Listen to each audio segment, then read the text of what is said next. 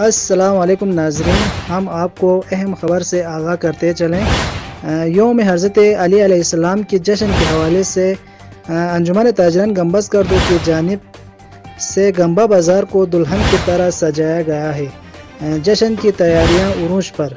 जी। अस्सलाम वालेकुम नाजरीन, हम आपको अहम ख़बर से आगाह करते चलें।